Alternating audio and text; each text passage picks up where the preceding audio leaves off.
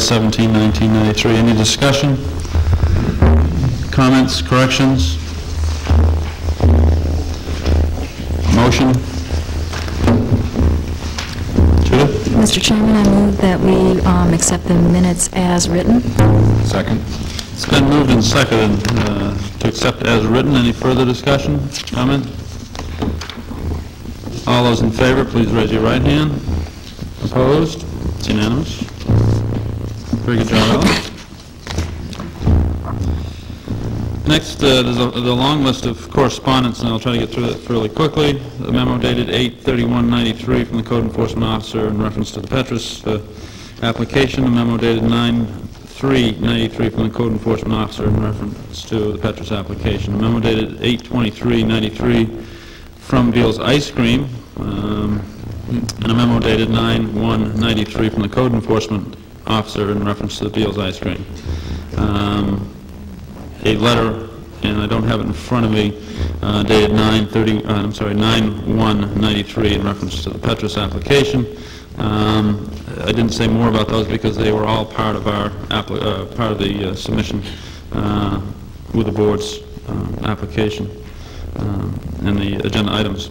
Also on, for correspondence, the Environment and Development newsletter from August and from September. Also zoning news from uh, August 1993. A letter from John Mitchell in reference to the mailman service station uh, asking that uh, it be taken off the agenda for this month, and I can't, I don't have it in front of me right now. I don't know whether it has to be on next month or not, but we certainly will find out. Um, Next is a letter from the town attorney, Michael Hill, um, comments uh, in reference to the technical amendments, an agenda item that we'll take up later this evening. Um, On the the podium this evening was a memo from Michael McGovern, town manager, to um, the Board of Sewer Appeals, the Planning Board, and the Town Council, uh, announcing a workshop. Town Council has scheduled a workshop for Monday, 7:30, uh, September 27, uh, on the recent report from the Sewer Board of Appeals. That is the next agenda, uh, next piece of correspondence. Um, Maureen mentioned that to me today, and I hope all the board members will be able to attend that. Uh, The sewer ordinance has been, uh, the sewer policy and sewer ordinance has been an item of a lot of discussion over the last few years, and uh, look forward to having some input into that process. Also, in addition to the sewer policy report to the town council from the Board of Sewer Appeals, and uh, you may want to save this um, to take to the meeting. Uh, From the Woodlot Alternatives, Inc., um, this is a letter to Al Frick from Steve Pelletier on the podium. It's a- a two-page letter. I did not have a chance to take a look at it myself, Um, but for the record, uh, it's a letter of September 16th, 1993, to uh, Al Frick. Um, Also, on the podium tonight, a letter of September 21 um, to myself and the members of the board from Patrick uh, Carroll, who is the chairman of the uh, Conservation Commission, Cape Elizabeth Conservation Commission. Uh, I just had a chance to skim through that one, um, and uh, it is in reference to the Petrus Wetland Alteration Permit Public Access Waiver. That uh, is all of the correspondence I received. Any other articles, uh, correspondence from board members? Okay. I guess we can move right on to new business this evening. First order of new business is the Petrus Wetland Alteration Permit Public Access Waiver. Robert and Ruth Petrus are requesting a public access waiver and wetland alteration permit for a new lot to be created off Fowler Road, R6-26, wetland alteration permit. Public hearing, six- uh, section 19-3-9, public access waiver, section 19-4-2B. Uh, I think what I will, uh, would like to do is open for public hearing first, uh, unless there's any other objection from the board. We do it a couple different ways. Um, The, the information that we received is, is all public information. Um, So at this time, uh, bef- just before I open it up, go over the rules that uh, any members of the public who would like to speak are certainly welcome to speak.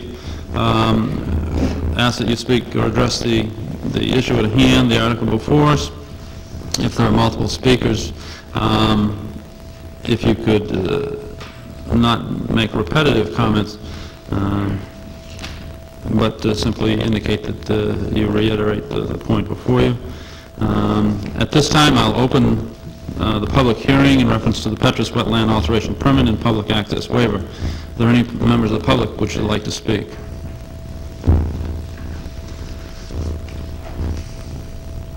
Yes, go ahead. If you could just introduce yourself once you get to the podium. Mr. Chairman, members of the board, my name is Patrick Carroll. I live at 63 Cottage Farms Road in Cape Elizabeth. I'm chairman of the uh, Cape Elizabeth Conservation Commission. Um, The letter that you have before you tonight, I'm just going to read into the record and uh, let it speak for itself here. Uh, Dear Mr. Etzel members of the board, on September 9th, the Cape Elizabeth Conservation Commission met to discuss the above referenced project currently under consideration by the planning board. After thorough review, the Conservation Commission recommends the project be denied for the following reasons. Number one, the applicant proposes to construct a single-family residence with- within the RP1 critical wetland buffer zone. Although the setback can be reduced in a densely developed area, Commission disagrees with the method used by the applicant to calculate density. It's our opinion that that in this case, that the density be calculated within 250 feet of the proposed building envelope rather than the property corners along Fowler Road. It also appears that the applicant has not taken into account the vast amount of open space bordering the three sides of the proposed lot. We feel strongly that this section of Fowler Road is not densely developed as defined in the zoning ordinance, and therefore the buffer should not be reduced. Number two, the applicant has not mapped the 250-foot setback from the RP1 wetland adjacent to Great Pond. This setback will also encroach on the proposed building envelope. Item number three, the applicant has stated that maintaining a buffer of 250 feet from the RP1 critical wetland would require filling within the RP2 zone to allow for a building window. The Commission is opposed to this concept, as waivers have historically been granted only for access to the building site, not for the actual structure itself.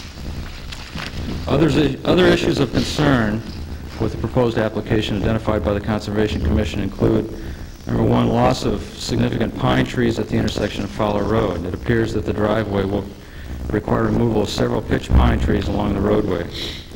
Item number two, the septic system as designed does not allow for installation of a garbage disposal. It seems unrealistic to assume that a homeowner would understand or abide by this restriction, let alone be enforceable by the town.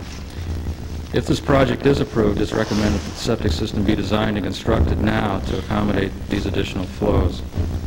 Item number three, the proposed grading for the house and yard should be developed to channel runoff from the roof and paving away from the RP1 critical wetland. It appears that a natural ridge line currently exists which could help in this regard. We appreciate the opportunity to assist the planning board in its review of this project and are available to answer any questions or concerns the board may have.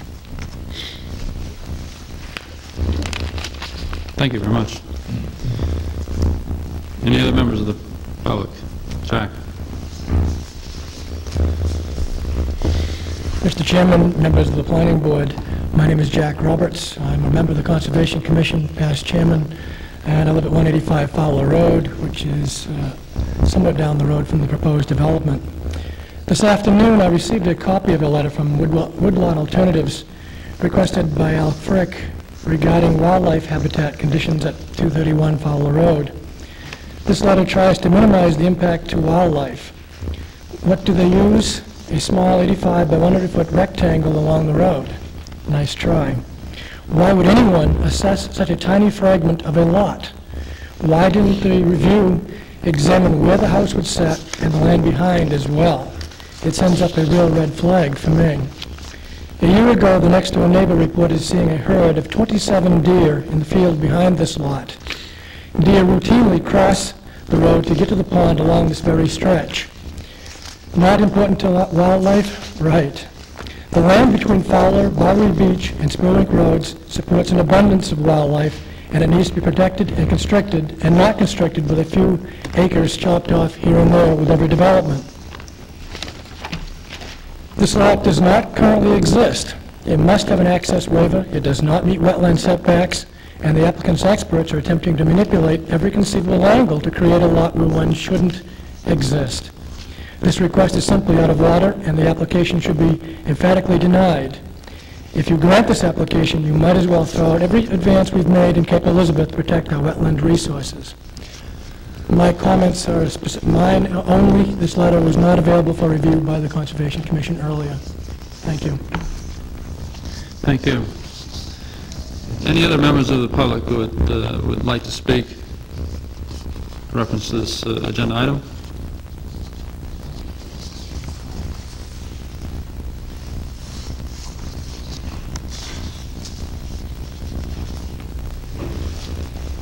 Seeing none, I'll close the public hearing. Uh, At this time, I'd like to have the um, the applicant come to the podium, or a representative of the applicant. Um, I guess the issue before us right now is- is uh, simply to bring us up to date, what uh, changes have been made since the last uh, uh, meeting, and then we'll open up for discussion to the board. Thank you, Mr. Chairman. Uh, Since we last talked, last uh, a number of changes have been made to the the site plan. The proposed drive has been reduced to 12 feet. The, uh, has been, uh, the distance from the property line has been set at uh, 10 feet was- requested. The, uh, our existing uh, dwelling, 231 Fowler, has been uh, drawn in along with our current driveway. The, uh,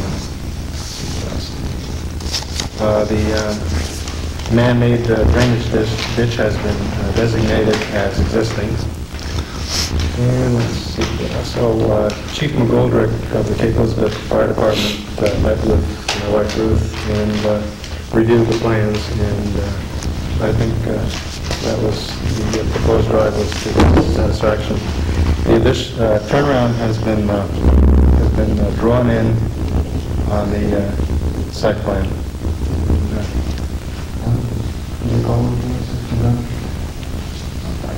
Yes, in addition to the remarks that uh, Bob made, my name is Albert Frick, soil scientist representing Bob.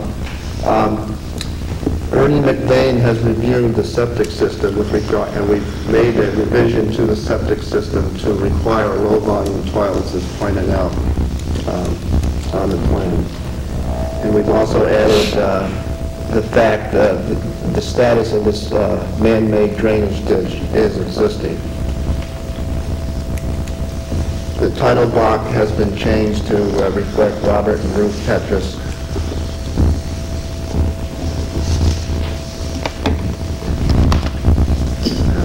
That's probably all of the changes of substance. Okay. Thank you very much. Open up to the board for discussion, questions, comments? Judy? I guess I'll just start the discussion. I know I'm not the only one who has comments on it, is the whole issue of the 250-foot setbacks.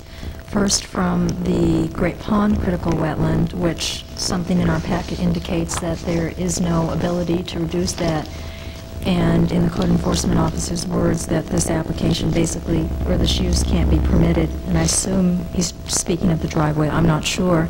And then the other setback from the rear wetland, where the applicant is requesting the reduction um, from the 250-foot buffer.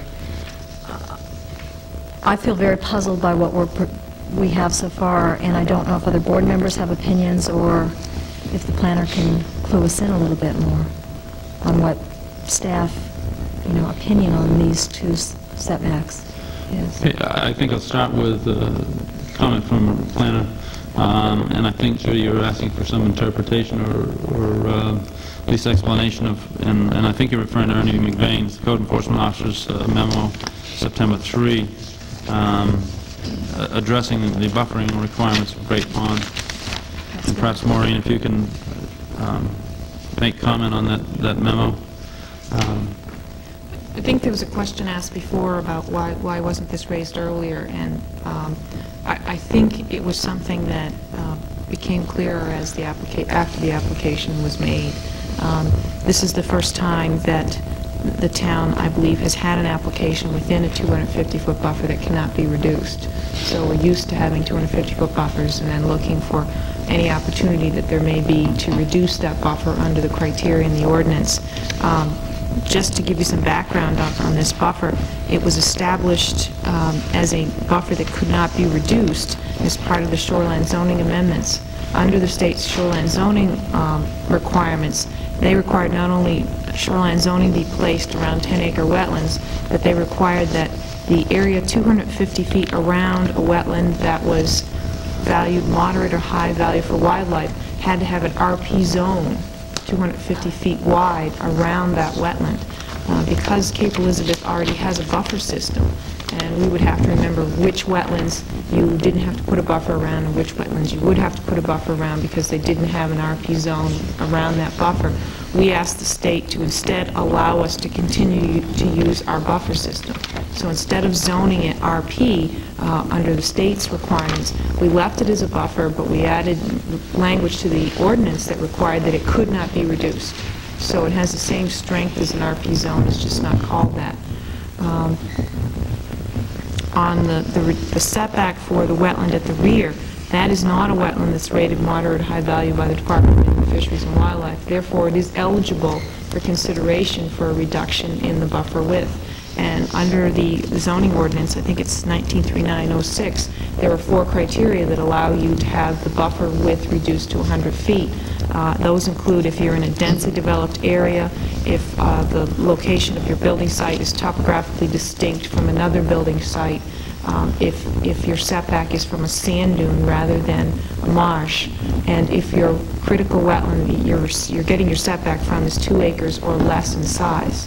Uh, This particular uh, wetland is well over two acres in size, certainly not a sand dune.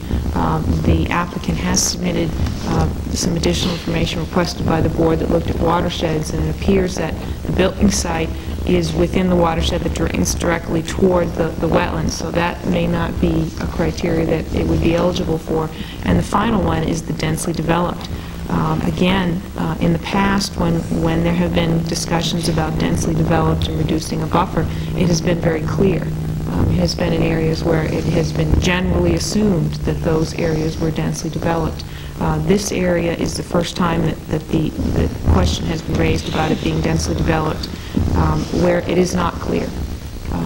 And I know the applicant has worked with the code enforcement officer about how do you calculate densely developed. The definition is, is not all that great, Uh, but the the problem is that the applicant calculated based on the boundary of their site, which it's a very large lot, rather than on the boundary of the building site. The ordinance requires that you calculate the density around the entire wetland, which could be quite a large task. So uh, we're kind of in, in a tough situation here all around. Um, Let's back up to the critical wetland from the Great Pond. It's not on our map where that 250 feet would be. Do you know if that would encompass only the driveway, or if it would go- get into the septic or building envelope? Uh, My understanding is that uh, I did ask uh, the applicant to work on the 250-foot buffer. Um, He he used the assessor's charts to establish the wetland boundary, the wetland upland edge for Great Pond, and those really are not accurate. You really should use the soils and vegetation definition in the ordinance, which you use for the other wetland. But if you assume that for once that those assessor's charts are accurate, and you measure back 250 feet, the 250 feet, I believe, um, gets to the point where the existing garage is. So, um, on the existing home. So what this does is, is it it doesn't impact the building site, but our ordinance does not allow any new road construction in a critical wetland buffer. That was my next question. A driveway would be considered a new road? Yes. Okay. Um, Then I almost want to stop discussion and see what other board members think. If that's the case, I don't feel we can go any further. Other board members, uh, care to make comment? I Stephen? agree- I agree with Judy as well. Not permitted, I don't understand why we're continuing the discussion. Mark? I have a question for Maureen also. Uh, For shoreland zoning, the shoreland performance overlay zone has a requirement that uh, houses and principal and accessory structures have to be set back 100 feet from Great Pond. Uh, Could you describe uh, what the uh, rationale is for that, and if that at all relates to this case? It seems that a house would certainly be more of an impact within 100 feet of Great Pond than a driveway within 200 feet of Great Pond. Um, Under our ordinance, we have overlapping zoning, so that while you may be able to receive a permit under one level of zoning, you may be denied that permit under another level of zoning. In this and and there are many places in town where you can have three levels of zoning. You can have the underlying RA or RC zone, you may be in a critical wetland buffer, or in the shoreland zone. So you could actually have three different levels of of zoning. So while in this particular area, under the shoreland zoning, you could set a house 100 feet from Great Pond, you're also in the wetland buffer. So you wouldn't be able to set your house 100 feet from Great Pond because you're not allowed to build a house in the wetland buffer either.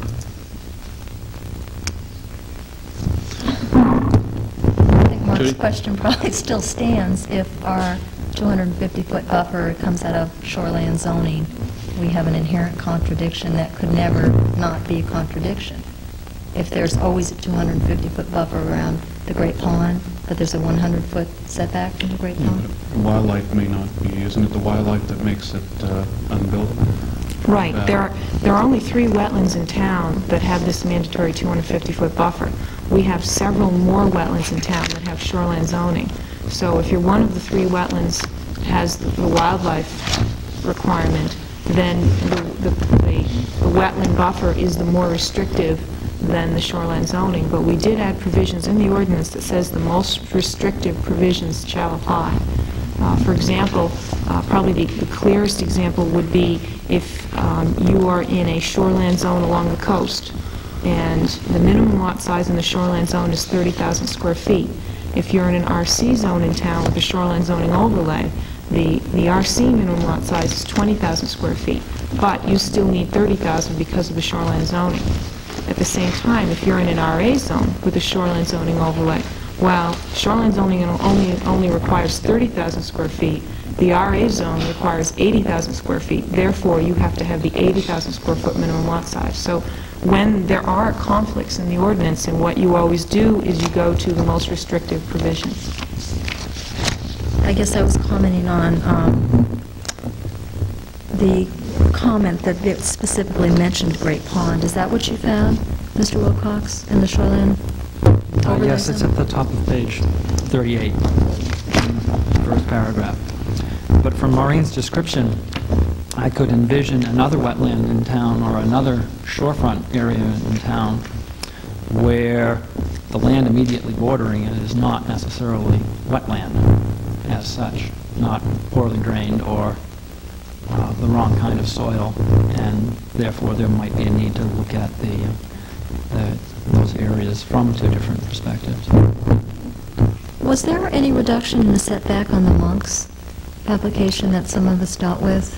That was from Great Pond. Maureen? Keep in mind that this uh, requirement that the buffer cannot be reduced was only adopted when the shoreline zoning was adopted, which was June of last year, and the Monk's application predated that. Okay, and this shoreline zoning is also similarly dated? That's right. So perhaps we just need to delete that Right. reference to Great Pond. Right. Okay, thank you. Tom, did you have a comment, question? I'm glad I'm not the applicant. Um, About 40 pounds ago, I used to run Fowler Road about uh, five times a week, and I'm pretty familiar with all the barking dogs and all the houses. And I ran it at such uh, during a time when there was a lot of construction along Fowler Road. About once a week, another house would go up somewhere. And uh, the irony of the fact that there are houses across the street doesn't escape me, and that we're not permitting a driveway. Uh, I'm only saying this because I I think the board is in as much of a quandary as the applicant is at this point, because, in my opinion, it is a densely developed area. Perhaps part of the lot is not densely developed, and there are other ways of protecting that. But I get, I guess I get disturbed when I hear people who live on the same road coming down to debate the issue of whether or not someone should be able to develop on, on another part of the road, and assuming that this is an RA zone, underlying zone. I- I'm not sure whether it is or not, but I'm assuming it is. And if someone else on Fowler Road is in an RA underlying zone, and we can find setback, enough setback so there's a room left to build a house, then um, I don't think that the density is is really an issue, as long as it's consistent along Fowler Road, and it's consistent with uh, the zoning that was established as part of the comprehensive plan.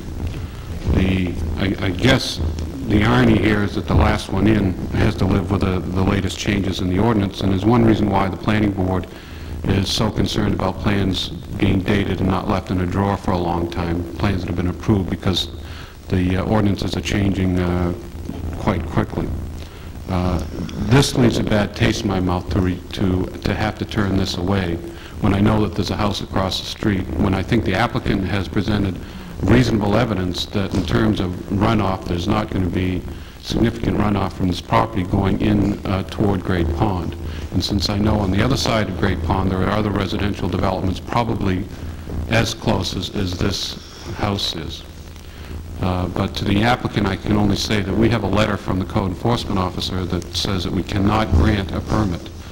And uh, either two things would happen. If we were to grant a permit, I would assume that anyone else in town who had been denied a permit on the same basis would sue us, or anyone else who would have come before the board with a similar application uh, and were not granted a permit would sue us.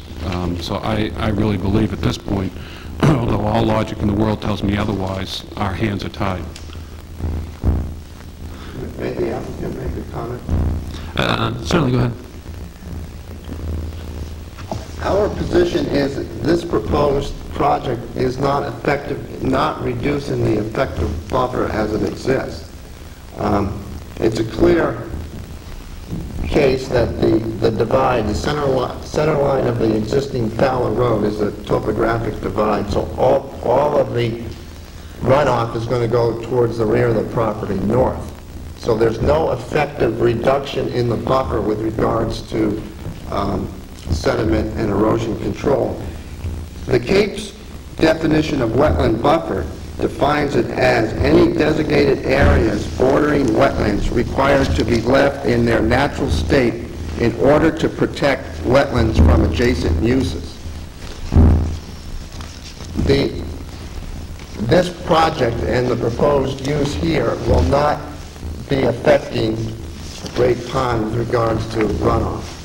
And then we, that's clear. And then today was submitted a report from Woodlot Alternatives looking at the other side of the buffer with regards to wetlands uh, and habitat. And uh, that was the reason why the area was designated right in here due to this issue of being 250 feet of the Great Pond.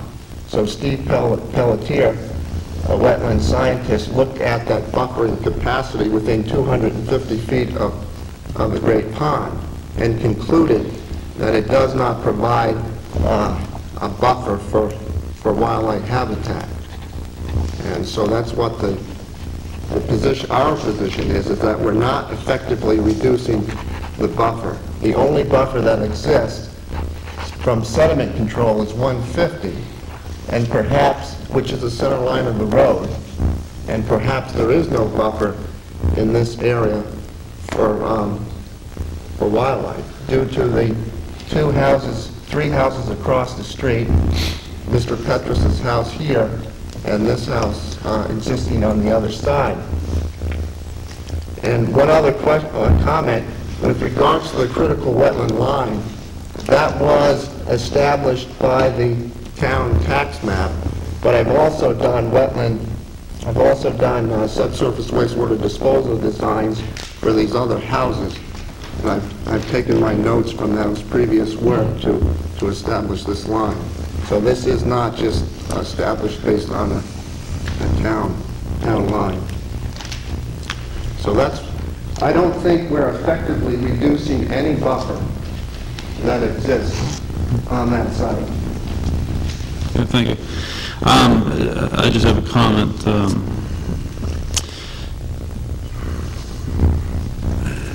I I- I did not read the the um, the letter from, I can't remember the the group, Woodlot Woodlawn Alternative. Alternatives, Um, as we don't always get a chance to when those are just here on the podium in front of us.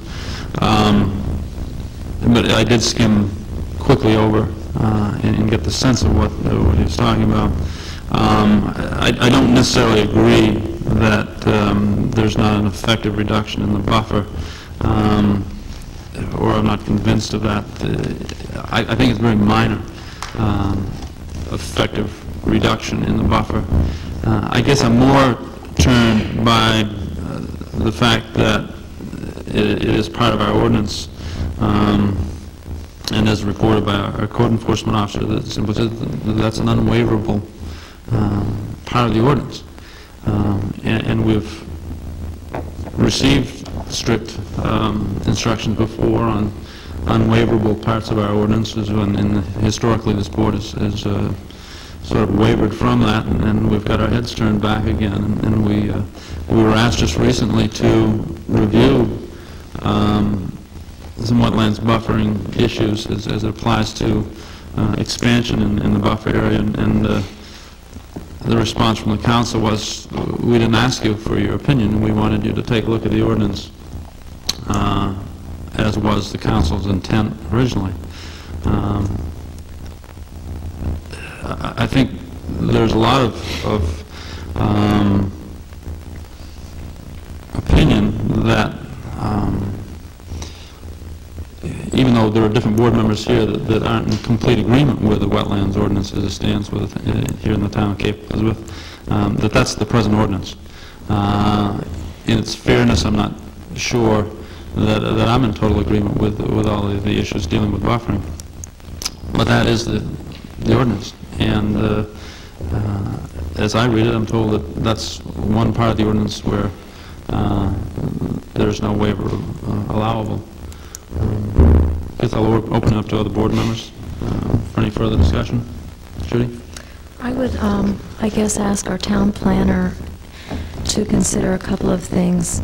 Is, um, since it wasn't clear to me what a driveway was, whether it was a new road or an accessory structure which would be permitted with a special permit, that our ordinance should clarify that a driveway is in fact considered a new road with respect to this ordinance. So that might have been one flag for um, the applicants. Um, Secondly, I'd asked if it's appropriate for the code enforcement officer to um, perhaps review all lots that would be similarly affected around Great Pond or perhaps around other wetlands that are definitely not densely developed, and, you know, flag that in his mind or on a map somewhere, so the first thing someone is told is, sorry, because it it bothers me, just like it did with the Sprague application, that something gets through and money is spent on consultants and plans, to be told, in essence, they have no chance, after all, that we can't even consider it. And I think that's inherently unfair, and I, we make mistakes, I know staff makes mistakes, I understand this sounds like it's the first time, but I hope it won't happen again. That, in essence, they never had a chance to do this, according to the ordinance. But I- I'm, in all fairness to the ordinance, I'm not sure that, that it's not clear that, that a driveway uh, in that, the 250-foot buffer around Great Pond simply is not permitted. I, I I would, I would interpret it that way. I'm, I'm just saying that I'm not sure that that's, uh, I won't get into it, but I- You would I think it's assume quite that. clear. yeah. Okay, I I didn't, and I assumed since they got this far that it was open to question. I guess the, the other two questions I would raise is, one, is it worth the applicant's time? And I, I'm asking this of the applicant. Uh, And I can see where there would be some error, uh, area for confusion among staff if, if these um, lines that everyone thinks exist as a chalk line on the face of the earth are really in- lines that have to be interpreted and can vary, just as Mr. Frick has just said.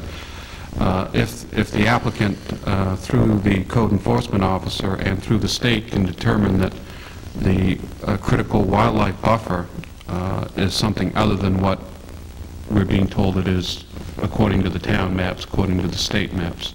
That is, the state has mapped this area on a gross scale. Uh, If they were to examine the area more closely, would they have a different opinion? An opinion more closely related to the applicant's uh, consultant's opinion? And if so, would that change Ernie McBain's mind? Would that make, have any impact on, on our town maps? As I understand it, the town map is there as a red flag, that if you own a piece of property within 250 feet of, of of a wetland, uh, it's your first best thing to do is to go out and make sure that indeed it's a wetland and to make sure that the distances are correct. All of that is up for interpretation, and that's the only way that I can see that the applicant uh, would have an avenue that isn't directly closed by the letter that we currently have in front of us from the code enforcement office. And in which case, I would suggest, if if the applicant expresses in- any interest, does it make sense to table the application rather than to den- deny it? Uh, Is there any legal reason for doing that? Any benefit to one party or the other, or mutual benefit, I should say? I'm not sure that I see that there's any mutual benefit or benefit to either party, but uh, refer to Maureen. Comment? If, if the, the application's denied, the applicant is prohibited from coming back for at least a year. Um, If you tabled it, there may be other alternatives they could pursue. If, if that were the case, could the, would the applicant be able to approach the town council uh, for specific waiver? I remember at the, the time, the discussion, uh, when this was, was discussed, about the 250-foot buffer around Great Pond, and, and the question was, you know, there are a lot of homes along that stretch, uh, and, and that was acknowledged, and said, yeah, we we need to preserve every last piece of, of, of um, undeveloped area there. Uh, So it's not like it- it's something that's snuck in. Um, But I understand your original points. I I think perhaps, uh, Maureen, it- and of course, it's up up to the board itself, uh, uh, is is that an option to go to the- the the council if we should table this? And is there any time uh, parameter? I don't think there is, but is there any time uh, restriction?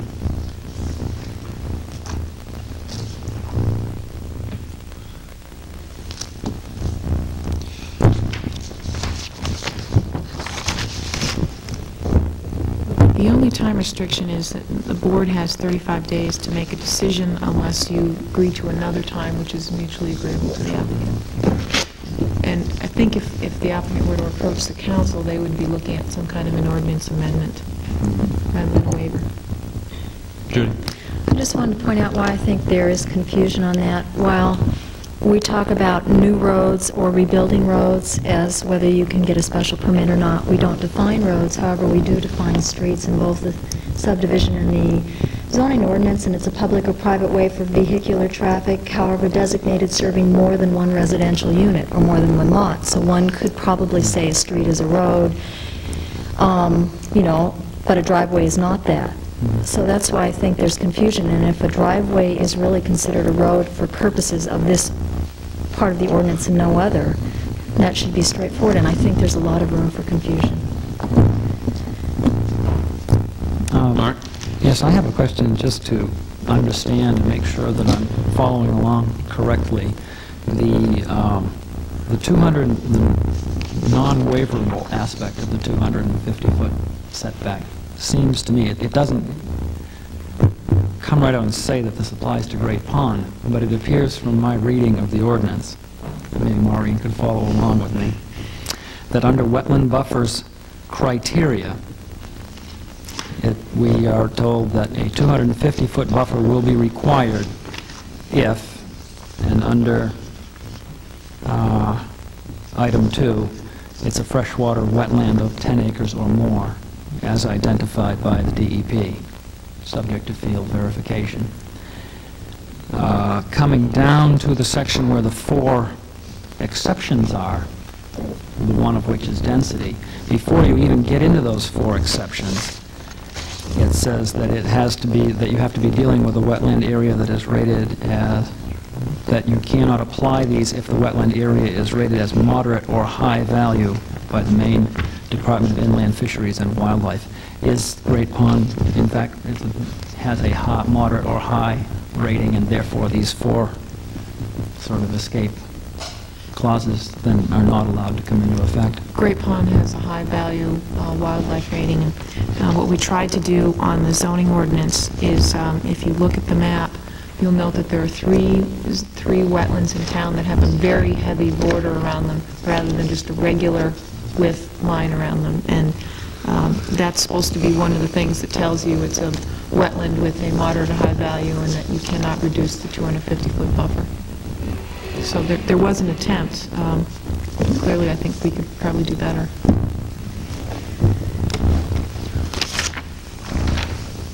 Any other comment? Chris, yes, Al? There is an existing, uh, Maureen talked about the, the existing dwelling and, and the garage. There is a existing driveway turnaround that already exists right here. And with these new comments that have come up with regards to not being allowed to reduce the effective, uh, uh, buffer of 250 feet, there may be an option to use the existing drive that already exists there and then enter the property um, of that way. And I was wondering what the board's uh, comments would would be with regards to that. The existing drive that already exists, utilize that, and then, then veer off onto the property with the new road. Go ahead, Maureen. I I had discussed this option with the applicant, and I I just wanted to let the board know that, um, you know, I I thought if there was an existing driveway, that certainly anything that's existing you can continue to use. I thought the problem with that, Al, and you can correct me if I'm wrong, is that you get to the applicant's existing garage, and you still aren't out of the 250-foot buffer. So, I I think that's the issue. If you can circumvent that, that area that, that uh, would be disturbed uh, more than 250 feet away by utilizing an existing driveway, that may circumvent, circumvent that one aspect of, of, um, of the buffer, um, reducing the effectiveness of the buffer.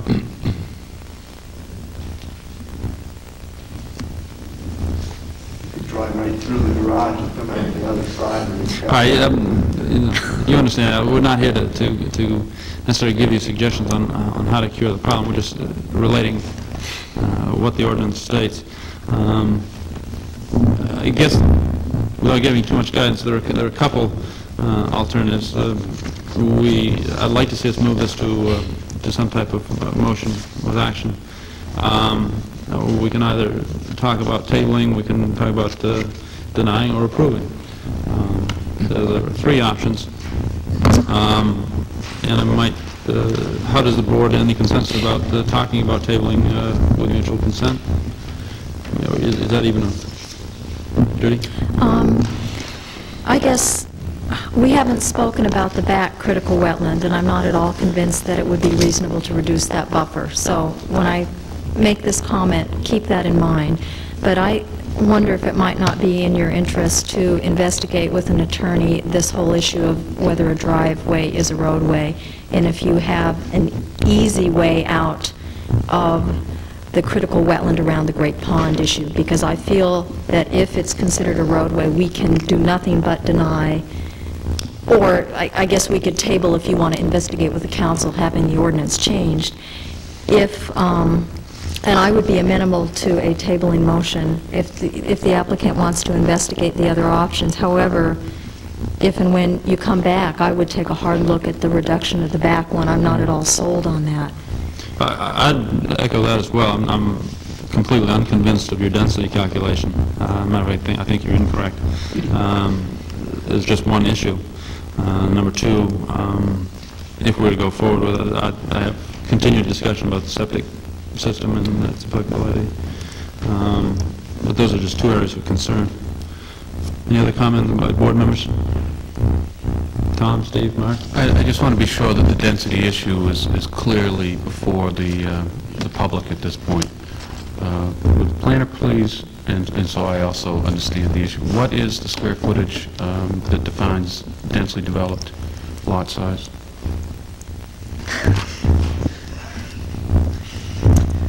well, under the zoning ordinance, um, we define densely developed as a commercial or residential area including approved subdivisions of more than 10 acres with a density of at least one principal structure per acre. And then, under that particular wetland section, uh, referring to a reduction in buffer, um, the requirements you need to meet is that the um, Resource Protection 1 critical wetland zone within 250 feet of densely developed areas as defined herein.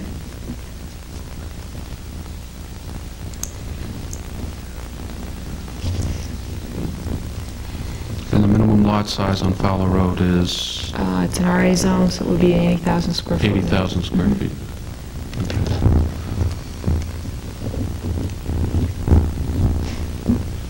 guess I would support you and Judy from that standpoint in terms of how the ordinance defines densely developed. I I guess my problem with it is that that the applicant only goes to five point something acres, because that's, that's what included with, with improvements already on those lots.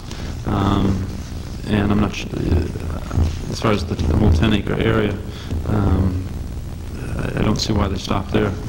Uh, There's plenty of undeveloped area that I I think needs to be encompassed in that calculation. Um, That that would be an issue if we were to table, that that would continue to to be brought up. Um, And that deals with, the- with the back, uh, the- My my other question, excuse me, my other question would be, is is the applicant have any interest in tabling at this point? Why don't- does the applicant, uh, would the applicants consider mutual agreement to, to table? um, Yes, I would like to. Uh, the- The methodology used to address the rear section of the lot was the methodology recommended by Ernie McBain, the code enforcement officer. We followed his instructions, suggestions.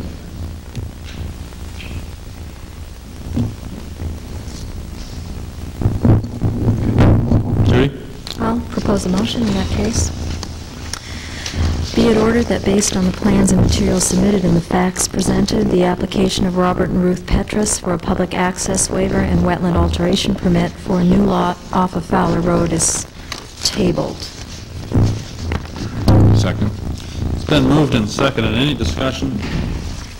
The only question that I would have is that, that, uh, does the board want to set a time limit to uh, the tabling? In other words, uh, we tabling in perpetuity, you know what I mean, forever? Um, Or is there a time period where, if nothing is done, the- the the applicant comes back to us and requests, or uh, we take action at that time? Should we ask the applicant how much time they feel they need? Would you feel that there's a reasonable amount of time that, that you would need to, and I don't even know what avenue you, you- or maybe you don't know which, what avenue you want to pursue. Would 90 days be okay?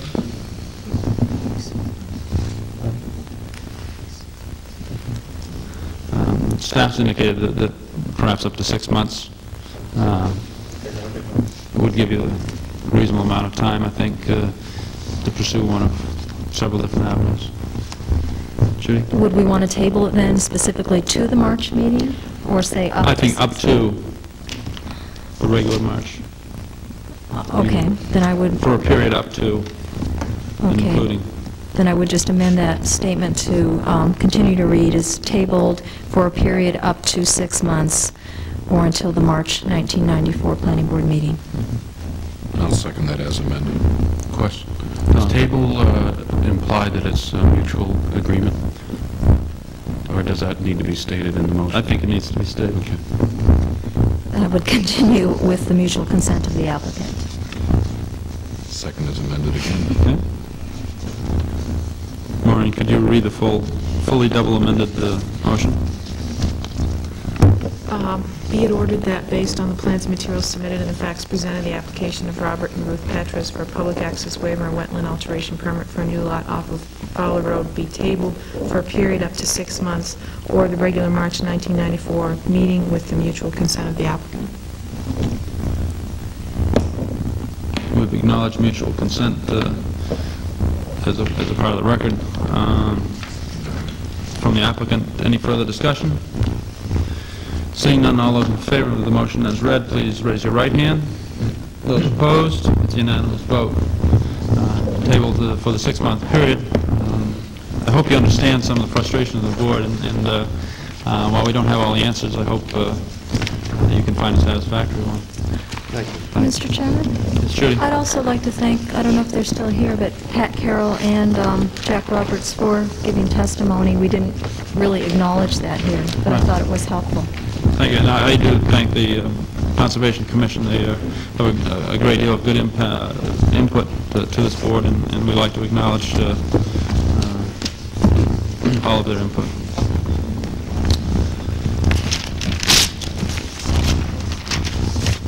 As soon as I can find my uh, agenda, we're on the next order of uh, new business. We're slightly behind schedule. We have- We have the Beals Ice Cream Site Plan, request by the Malley family for site plan review of a change of use from Fish and Farm Market to an ice cream takeout located at 330 Ocean House Road. Site plan review, section 19-2-10. Welcome back, and uh, if you could just uh, reintroduce yourselves.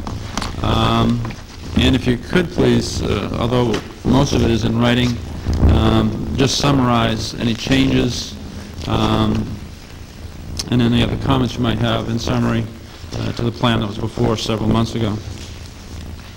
Okay, good evening, ladies and gentlemen. My name is Pete Malia, and uh, I'm sure you're all familiar with our application here.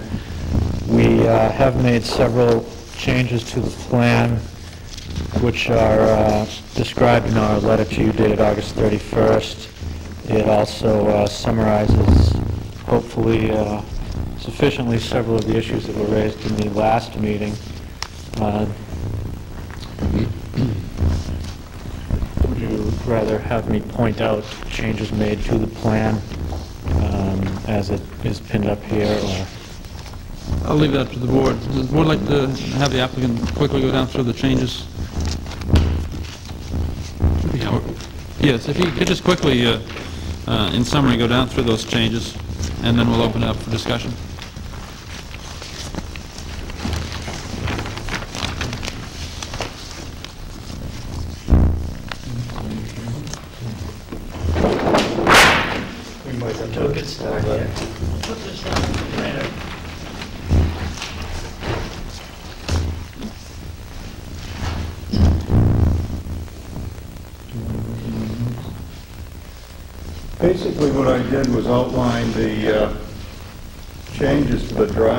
Which I think was the, uh, the critical uh, part of the site plan, Uh, and clarified that the areas in blue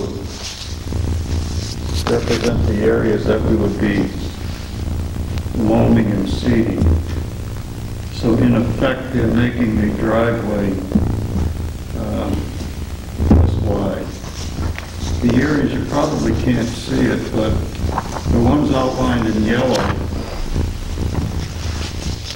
represent the areas where we would be uh, digging out in accordance with uh, the engineer's crosscut diagram, rebuilding the gravel base, and then putting a uh, top coat on. In effect, what they would do is widen the parking uh, spaces on this side, finish off the parking in front slightly, creating an employee spot here in back, the two parking places in front. I'm not sure what we have there, it looks very ledgy, but we'd take that down as far as we can and then gravel it. It looks like that was all gravel at one point. We would be finishing these spaces and slightly grading these spaces. In effect, that represents the changes to the uh, driveway and parking area. The other changes were the, we put in a a formal sense, the uh, landscaping plan here and here, because that's backed up with the uh, plant list, the quantity, the species, and size. Inserted on the plan the notation that in the event that the existing septic system failed, we would hook up to the sewer. Previously, you can recall, we had an alternate system over here. There was quite a bit of discussion of that at one point.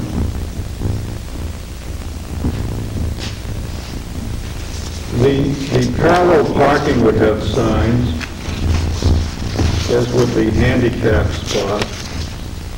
And those were discussed and we were asked to, uh, to formalize that. The in and out signs were also uh, put in. We'll discuss that a little later with the, uh, the plan for the signs. And we were proposing to light the front sign, located right here.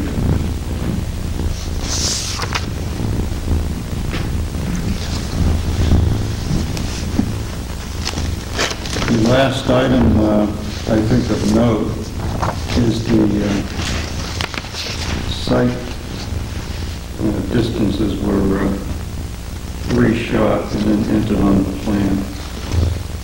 Basically, I think that represents the changes. Very good, thank you very much.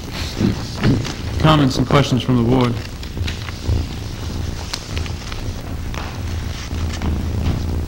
Judy?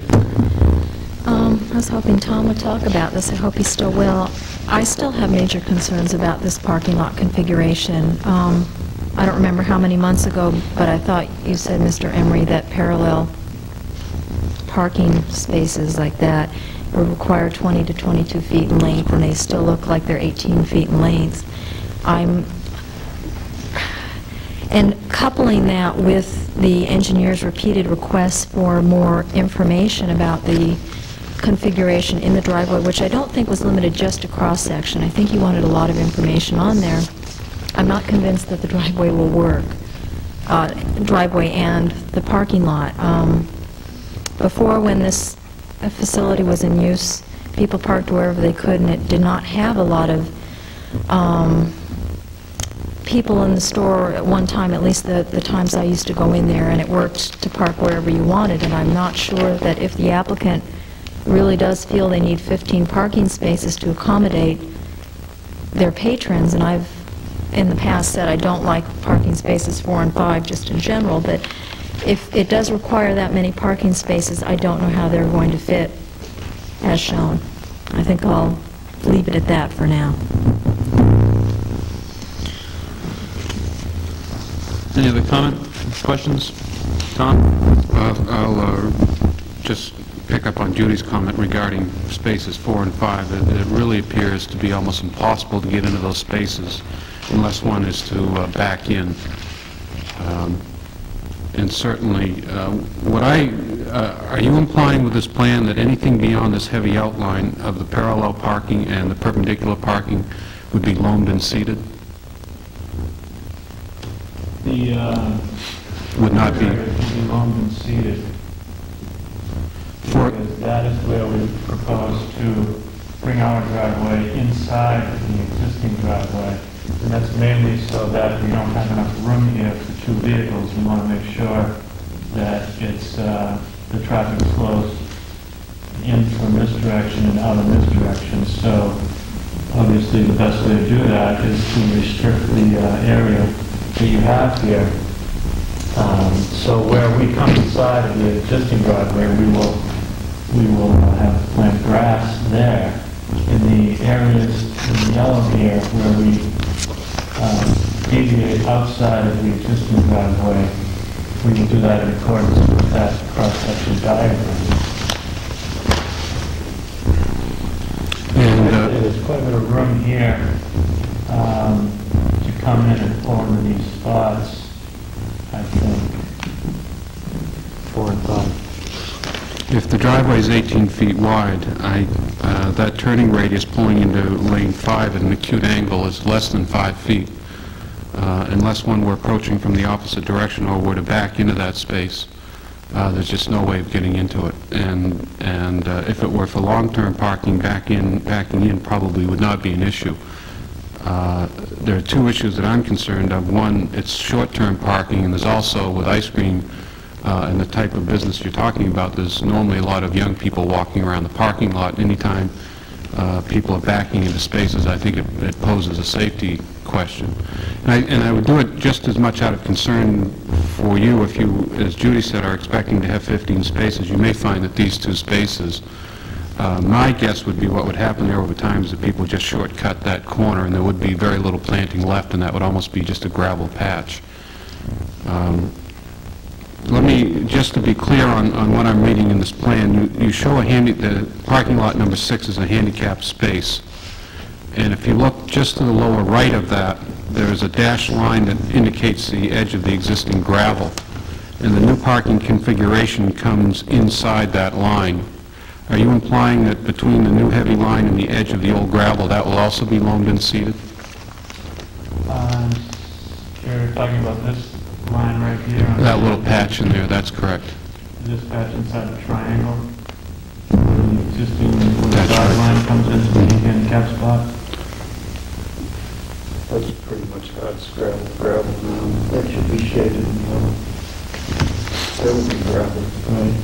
Yes, this should be, this is basically, it's, it's the driveway as as it exists right now, it's a, it's a gravel rock type Mhm, in there. cover, and that's what is here, so this should be actually, um, yellow also, because that will be, uh, in accordance with the cross-section diagram also.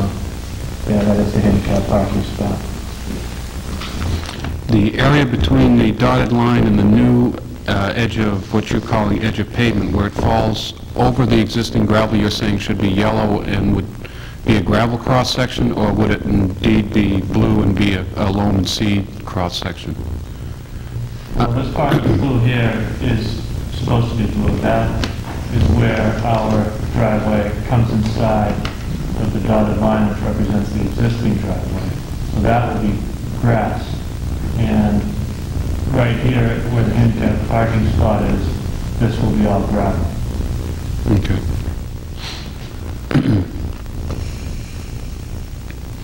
I would uh, request that you add to the plan a uh, note specifically uh, uh, calling for six inches of loam in any area that is to be seeded.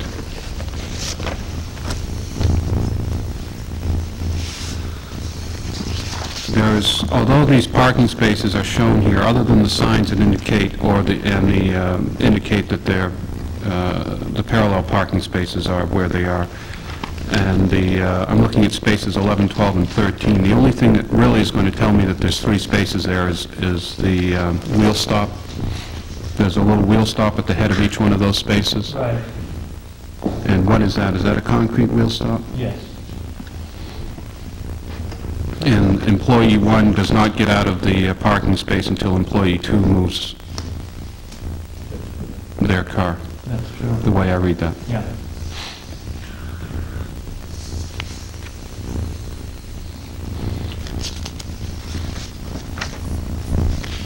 I I guess I would just state to the board, with any gravel parking lot, the the idea of keeping uh, clean edges and grass areas where there's a lot of transient uh, parking is a very difficult thing to do, and the only way of assuring that these spaces, uh, the example I gave behind the handicap space, that that area would remain in lawn would be to put in some large wooden uh, bollards uh, that would just direct traffic around there, uh, or to, or to landscape them.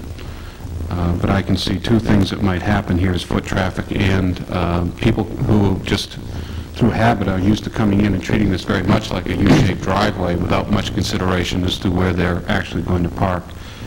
Um, So I would suggest that, uh, in addition to increasing the the length of the parallel parking spaces to a minimum of 20 feet, that those areas that you're showing as loam and seed that are adjacent to existing uh, proposed parking spaces, uh, you place uh, large enough stakes so that those edges are are clearly marked, um, either that or or wood curbing.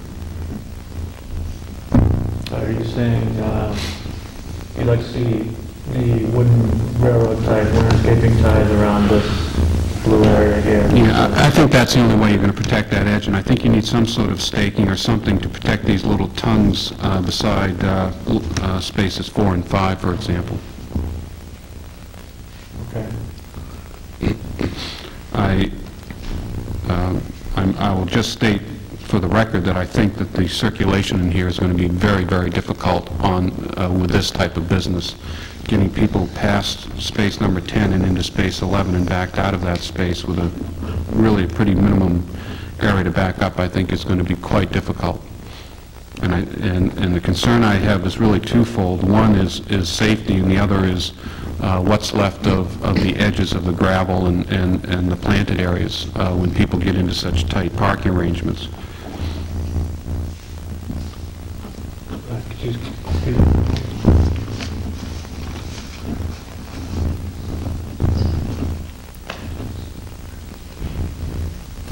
So is your main concern parking spaces nine and 10, uh, spaces four and five, and people coming in and out of here and pulling into here? Yeah, I, someone coming around and, and um, having to make a decision as to whether they're going to continue into the uh, exiting driveway in parallel in spaces four or five, or- or pulling into space 11, 12, and 13, when at the same time there might be someone backing out of that space, I think is asking a lot of people to do uh, around an ice cream stand.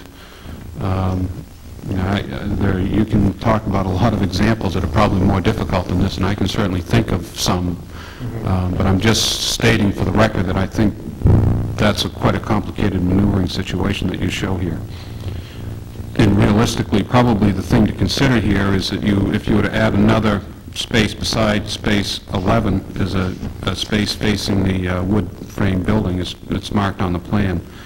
That would be the last easy space to get in and out of, uh, and you could reduce the total number of parking by as many as two to four spaces. Okay.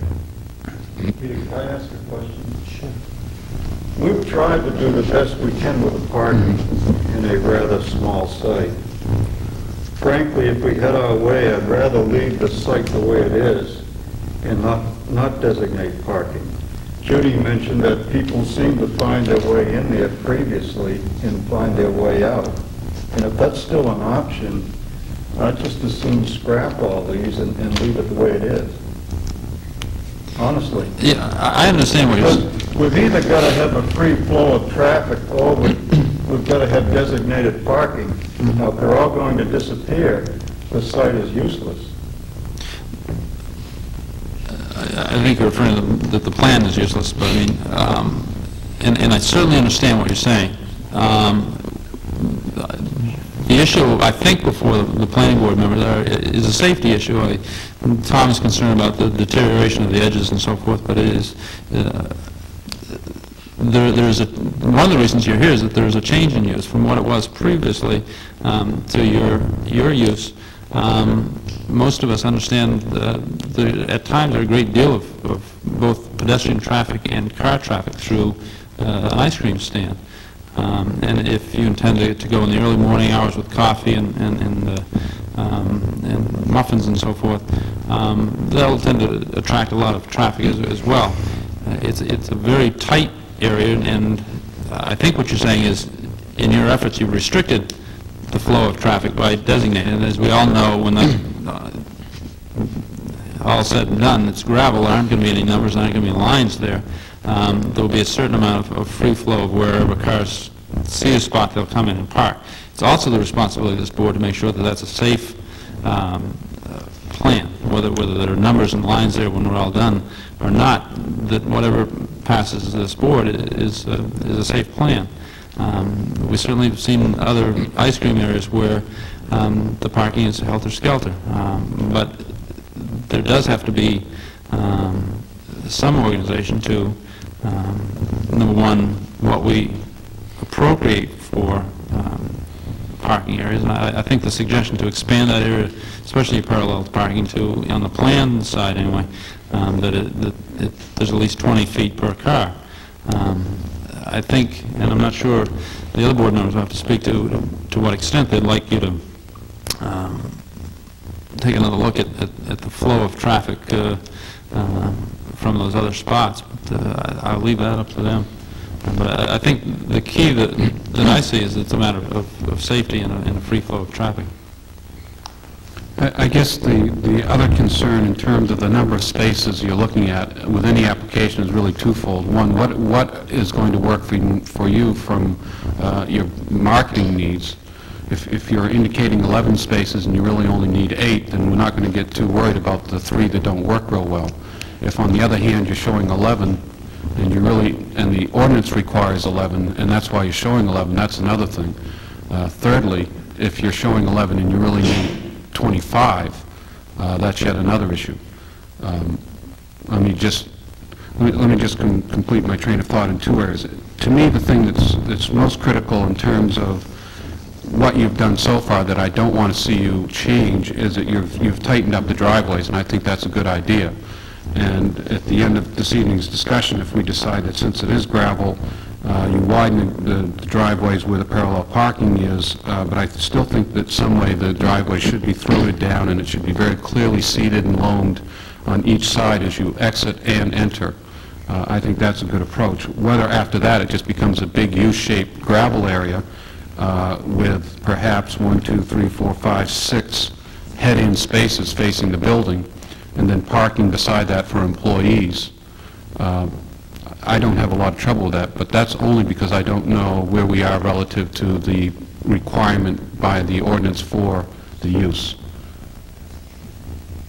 All right. Guidance My recollection is, The ordinance requires that for a service establishment, which you- you could classify this as, you need one space for every 150 square feet of building area. For every how many square feet, 100? 150. 150.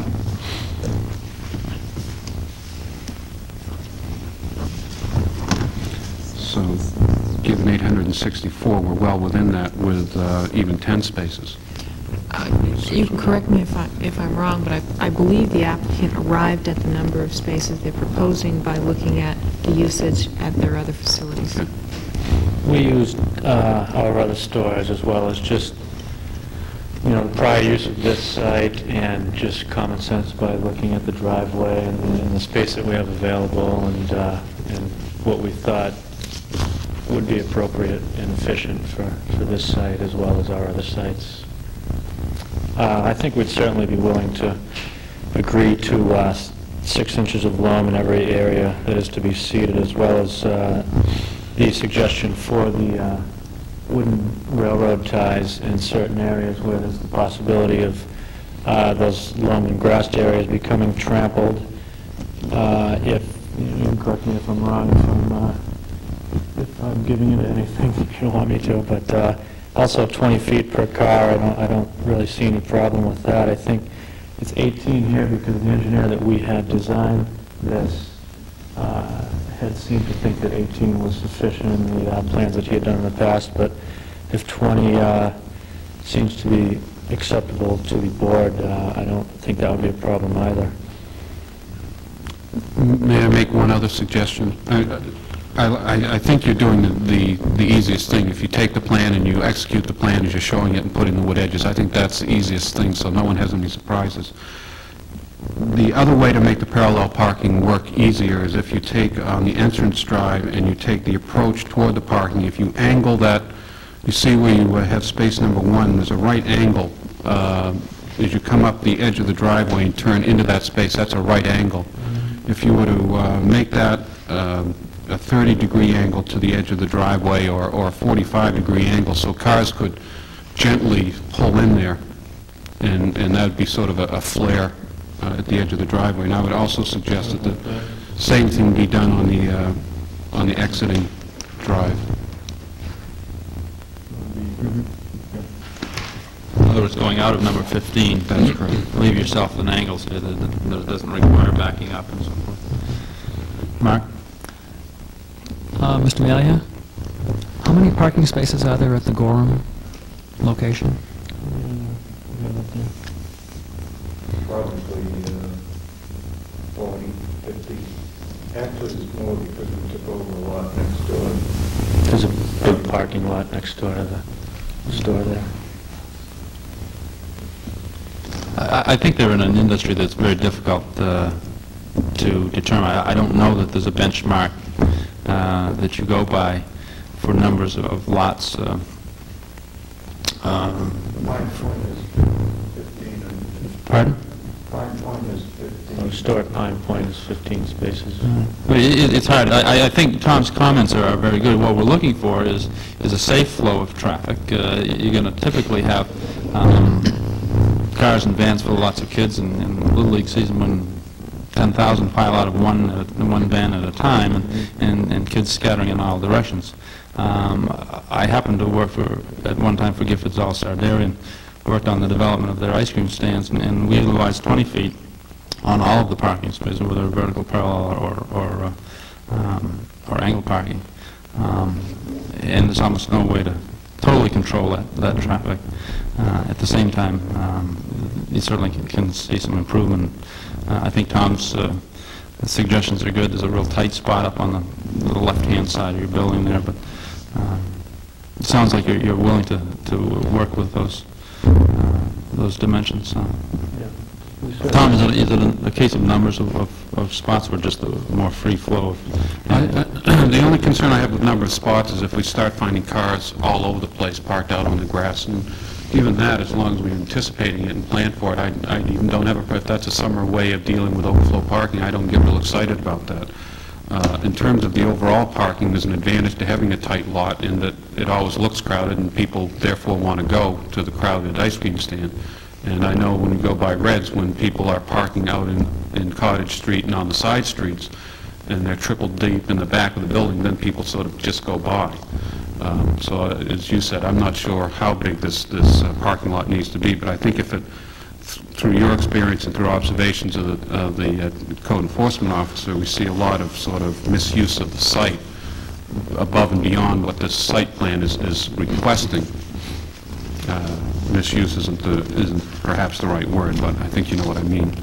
Uh, People parking out on Ocean, Ocean House Road, for example, or parking in the right-of-way, those sorts of things, uh, then I think you probably should reconsider the, uh, the layout. I think those are good suggestions, and I don't think parking is a problem. We're agreeable to those. Um, We didn't, and I know nobody insinuated this, but we didn't say, make the spaces 18 feet so that we can squeeze in as many spaces as we want. He just seemed to th- think that 18 was the, uh, the the space that he usually had in in his other plans, but 20's fine, and I think the, uh, the angle is is a good suggestion, and the loam and uh, the wooden railroad you know, I think that we're more than agreeable to, to all of those. Other comments? Stephen? Um, Have you made any, cons- you know, any provisions for bicycle parking? I assume kids and ice cream and bicycles all sort of go together.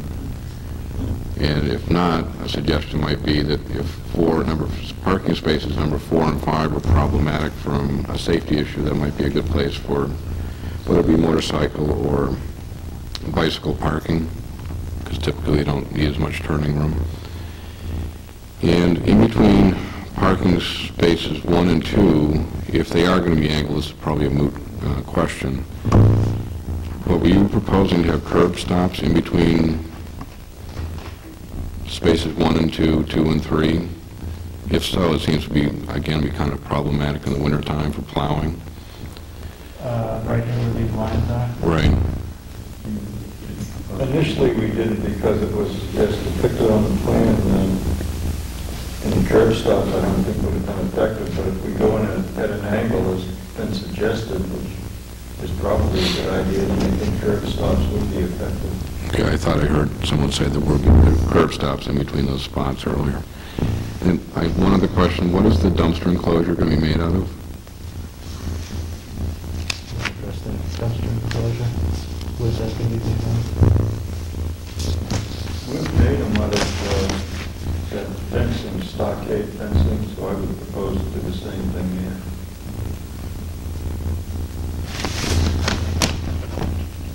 Yeah, yeah, yeah, our other stores have the, the dumpsters are enclosed with the stockade fencing with a swinging door on the front so that the dumpster operator comes, opens the door, and uh, empties the dumpster and closes it back up.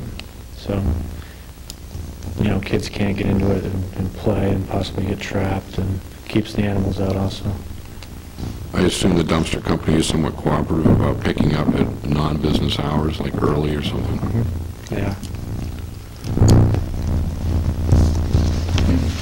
Tom? Uh, Yeah, just a point of clarification. I wasn't trying to imply that the parallel spaces would be angled spaces. I just simply is trying to get the uh, approach toward those parallel spaces to be uh, more of a transition uh, rather than just a a right angle. That's, I think if you were to go to angled parking there, uh, that's a different proposal. It would- It'd be quite a different layout uh, and and probably require encroaching in the uh, existing tree area more, and that would be a whole different plan at this point. I I think it's just a matter of terminology when we use the word uh, angle, um, and I think Steve's question had to do with whether there would actually be concrete uh, uh, bumper stops in between those. I'm not sure that that would be an effective way. I- I- You had mentioned that if you angle it, then the normal traffic pattern will be simply to slide forward as the car pulls, and it's going to slide to the one that's open. If not, it's going to pull up and slide in. You simply have to have enough room to to pull that car in. Um, It's not downtown urban Portland parallel parking, it's it's a matter of sliding in where you can fit. Uh, And if you angle that open, uh, instead of having a right angle turn in there, it's simply going to be a lot easier. Any other questions? If we need a clarification for for my sake. Okay. We're talking about angling this cut, right, so that people can come in here. Yeah, just pull it, just like in downtown Okay, Portland. We're where- talking about angling That's correct. these. We're not talking about angling the what they have spaces. been doing. In that case, I don't, if, if I understand it correctly, I see no reason for uh, the concrete wheel stops to be here or here. But there would be parallel parking signs up on each space on the sign I post. think a concrete wheel stop here would uh, really give everybody some problems and probably be driven over a lot. Right, it'd prevent people from pulling forward in those Be a spots where it'd be good, no good place to take driver's ed, parallel parking. We'll see how fast you can go over those, see if they work as speed bumps. Sorry. Other comments? I'd like to see what your, your sign uh, display there, your, in the submission, that that it's uh, less developed than what you have there. Could you explain to us what uh, you're proposing for signs? Sure.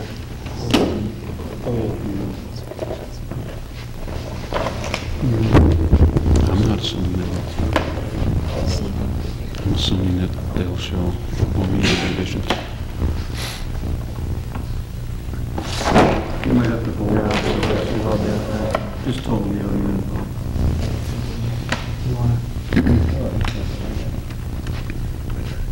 I guess if you just point each one and then give us an indication where each one of those Okay.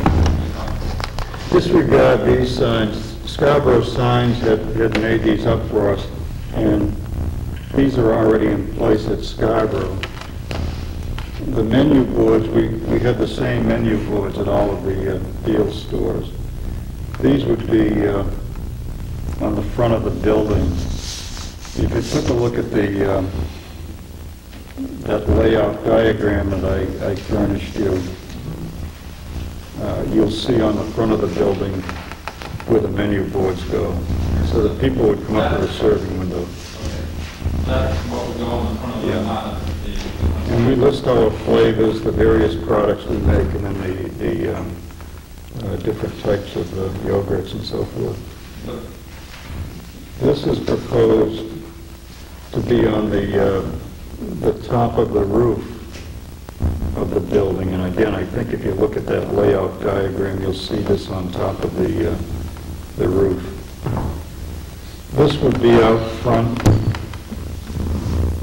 in the right-of-way, the highway, the front right-of-way. These are the in and out signs. We didn't put dimensions on these, I talked to Ernie about it, and he's looking up what, what the uh, configuration should be, or the, or the size should be for the in and out, whatever that is, but this will be the design, and then we'll settle on the, uh, the dimensions. Uh, He's looked at all these other uh, signs, and again, uh, we'll work with Ernie, and if we have to trim one of them down to be within the sign ordinance, then we will. As far as I know, all these meet the, uh, the sign ordinance. The, the sign up front, you're uh, proposing to be lit with ground spots or spots from the sign itself? Yes. we would have uh, spotlights and on coming off each side of that, Bracketed and pointing down? pointing uh, into, into In, the okay. uh, sign, not up to the road, but into the uh, sign. Okay. The only comment that I would make, and and it comes as a result of, of, um, at the Pond Cove Shopping Center where they uh, removed their in and out signs and then put them back in after they made some changes, and then their, one of their signs, uh, can't is is right at eye level and- and uh, is right in the sight distance. Um, I might remind the the staff to make that change, but if you- if you could either put it lower or higher, probably lower, um, especially on your out sign, so you're you're not blocking that oncoming. Um, You understand what I'm saying? Yeah. Okay. Got a perfect example, if you want to pull out of the IGA sometime and look north, you'll see how not to do it. Yeah, we had, uh, use of this sign out front. On on our other stores, we have, uh, we have signs that allow for letters to be put up and we advertise a particular flavor, but I think the the ordinance here reads that this freestanding sign uh, can't have that sort of advertising, so we've designed it so that it just, you know, has the name of the store, and, uh, and that's all it will have. I'm I'm glad you brought those, That that adds a lot to um, understanding the signs. Any other questions, comments? Yeah. Tom? While we're on signage, just a question, uh, is there a need for a stop sign at the exit drive? I don't think so. Sign here, at the. That's correct.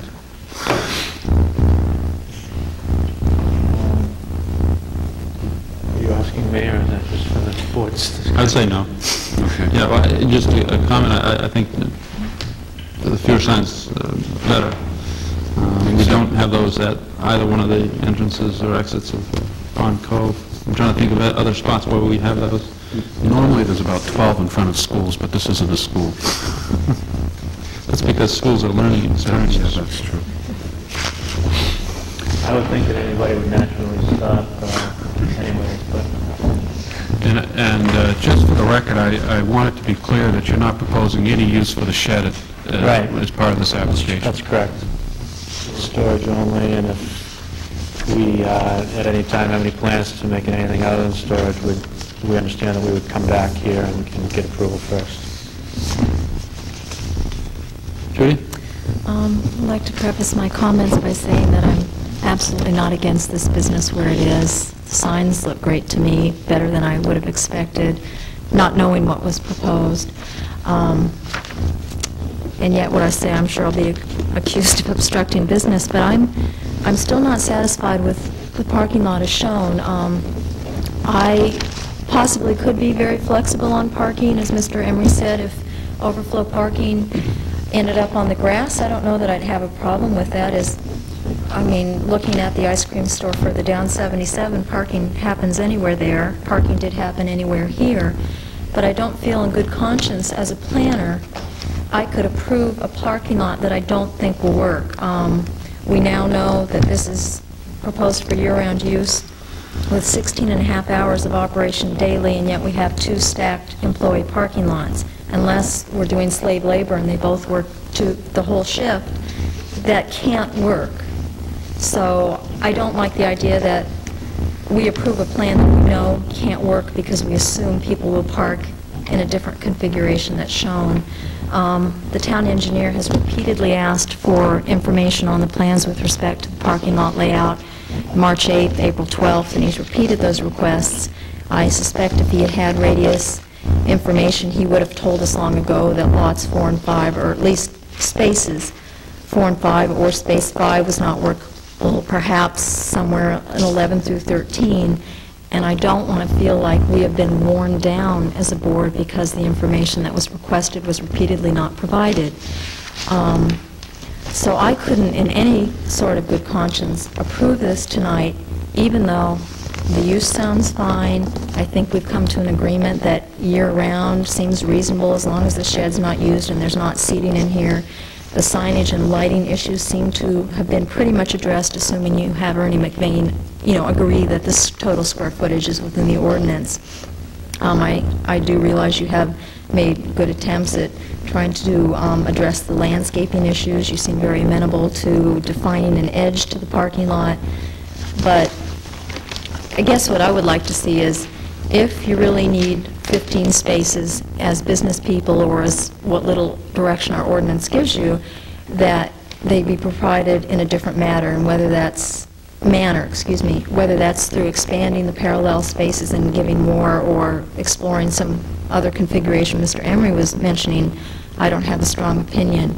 If you don't really need 15 spaces, I would much prefer for you to put a more realistic number down here in a, in a configuration that an engineer could say works, and then let the parking go onto the grass unless someone can tell me that's uh, unsafe thing to do. So if there is a motion for approval, I will have to vote no on this, but I want you to know it's not because I'm against your project tonight. I'd make a comment, clarify a point. We certainly aren't slave labor. And we'd we'd have two people in the store, two people come, two people go. This is plenty of parking for employees. That was one of the issues that was raised. Actually, uh, on On our- the site, we think people can get in and out because we've been in there before and watched people park in that area, and they seem to have done it with pretty much. Actually, on the employee spot, I think if I tell you a little bit about how our business operates, you might feel differently. If we were to open early, uh, actually regardless of when we were to open, we usually just have one employee until the, you know, in the summer, the store gets busy, say about 5 or 6 o'clock, and then a couple more employees would come on. Um, Most of our employees don't drive anyways, because they're, you know, high school kids, and, you know, sometimes even eighth grade, ninth grade, they don't have driver's licenses, their parents drop them off. So a good majority of them don't drive, and uh, I think that with the, the way that we rotate our employees, and based on the fact that most of them don't drive, I think that two spots probably would work. Um, I'm just curious as to what you have in mind, what would be a realistic number of spots? Um, I, I couldn't determine that. I, on one of my earlier memos, um, I think this was, I don't know if it was the first time I wrote it down, um, it, I have a note that it was still not clear how the number of spaces should be determined, and I was going from our ordinance. And I said, must the zoning board determine the number of spaces required for this use? See section 19-3-5 subsection A on page 36, because I thought it was so unclear. Um, If the town planner says it's reasonable to use the service definition, you clearly would have enough. And you- certainly, you know much more about this business for the parking. But I guess my concern is, if you realistically think 15 spaces are needed, I really can't imagine our town engineer saying that these are 15 good usable spaces, and if you need 15 spaces, I think there needs to be, I, I don't think, I don't know that I'm on the majority of the board here, but I think you need to revise that. Um, My comment on the employee one and two is I wasn't quibbling with the number of employee spaces that you're providing. I don't know your staffing situation, but unless employee one arrives, employee two arrives, and employee two always arrives before whoever employee, I mean, leaves before employee three or four arrive, I don't understand how those two are workable. Seems to me employee one always gets trapped until employee two pulls out, and if you have a third person come in to relieve one of those people, do both of those employees have to leave, move their cars, so the three can pull in? I, I I just honestly don't understand how it will work. And I guess I can't, in good conscience, vote for a plan that I can't understand how it would work. But I, I don't need you folks to convince me that it's a, it's a good proposed use here. I just have concerns with the plan as we've been shown. What I'd like to, to make sure that we uh, give to the Malias is um, the, by consensus of the board, what we feel needs to be done to the plan to make it approvable. Um, And if it's a case of, of um, extending those, say lots 11 through 13, so those are 20 feet, or just a consensus from the board, which lots, which parking spots or which parking areas need to be expanded to, to to 20 feet? Do all of the um, angle parking, um, just the the allotted area for parallel parking um, needed to be expanded there? They seem to be uh, um, looking favorably upon the suggestions from from Mr. Emery that that uh, uh, 20 feet is is certainly uh, acceptable, that that they're willing to to uh, put six inches of uh, loam in. Uh, I take it that's just so that- that that's plenty of loam to make sure that it that it takes and holds enough moisture so it will grow well and and perhaps be soft enough so it's tough to drive on, I'm not sure. Any, anytime you see anything less than that, it's just simply a budget constraint. I mean, grassroots would, would ideally be double that depth if you watered them often enough, and particularly if they're just planning to put it over the gravel, it needs plenty of... of- Well, I- I think in this case, they'd have to take it down in order to put six inches in, but uh, they don't, that doesn't seem to be a problem with the applicant. The applicant simply says that, you know, um, landscaping ties where necessary to prevent the cutting into that edge is acceptable, the the 20 feet is acceptable. Um, Steve Parker's mentioned perhaps changing four and five to something more usable whether it's a, bicycle rack or or something designated separately there, so we don't uh, encourage cars to to try to pull in there. Um, I guess what I'm trying to get is is a consensus of of suggestions to the Malias, um, what is acceptable to this board, and uh, uh, so that they can come back and, uh, with those, with those corrections, uh, hopefully not more than one time. Actually, I've got, uh, I've got Tom's, you know, his requests were very specific, and I've got them down, but I just, you know, I- if Judy could clarify, I'm just afraid that we could go revise this plan and- and would come back and you just say, well, no, I don't like that one either. Well, I I wanted to comment on Mr. Etzel's request. I don't feel like I can tell you what I think needs to be on there. This is an instance where I always rely on our town attorney. I don't have an engineering background. Mr. Emery is much more qualified to pass judgment on a parking lot configuration.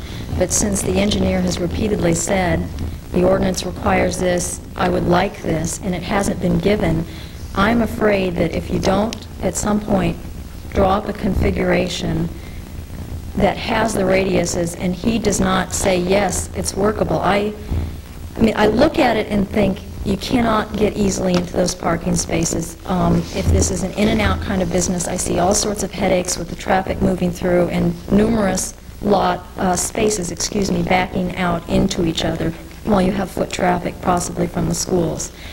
If the proper dimensions are on here and the radiuses and whatever's required by the ordinance, and the town engineer will write a memo saying parking lot configuration acceptable, or he does, would not usually say it in those terms. He would usually say it's not acceptable because of a certain radius. But in any case, if I feel comfortable with what he says, I'm fine, because I don't have a strong opinion on the parking spaces, you know, how many you need, or exactly where they go. I, I just don't think this is well engineered. And since our engineer has repeatedly asked for that information and has not obtained it, I don't feel qualified to pass judgment on it and tell you to increase it to 20 feet or shift it here and there. Other board members possibly could do that. I I may be wrong on this, and maybe somebody can correct it.